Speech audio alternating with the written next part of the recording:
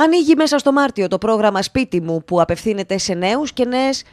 25 έως 39 ετών που αντί για να πληρώνουν ενίκιο θα μπορούν να καταβάλουν αυτό το ποσό ή και μικρότερο σε δάνειο προκειμένου να αποκτήσουν τη δική τους πρώτη κατοικία. Το κράτος θα καλύπτει το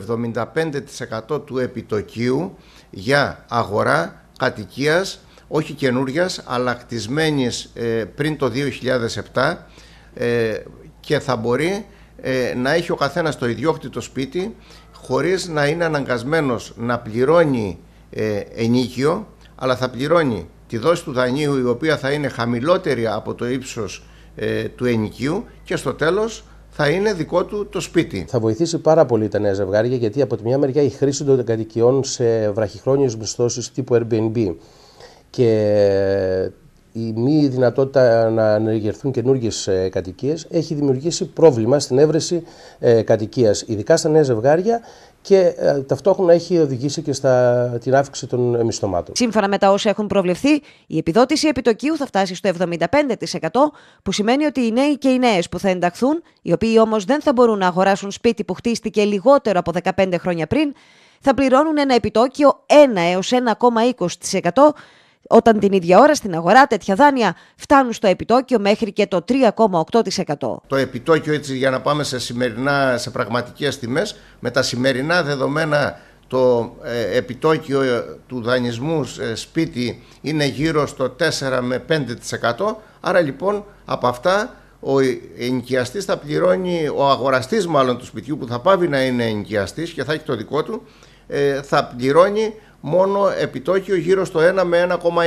1,20%. Φορολογικά κίνητρα δεν υπάρχουν αυτή τη στιγμή, αλλά είναι ένα πολύ ισχυρό οικονομικό κίνητρο. Πρέπει να δώσουμε να καταλάβουμε στον κόσμο ότι εδώ ένα νέο ζευγάρι θα μπορεί να πληρώνει ε, μία δόση δανείου μικρότερη και από το ενίκιο που πληρώνει για το σπίτι του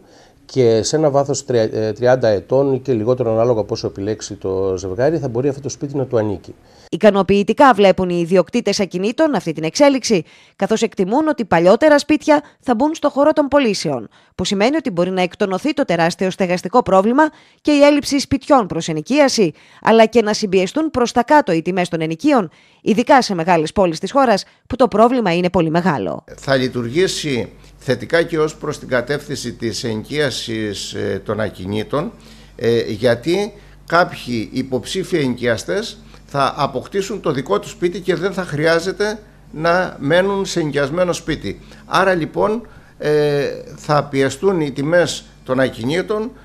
των ενοικίων των ακινήτων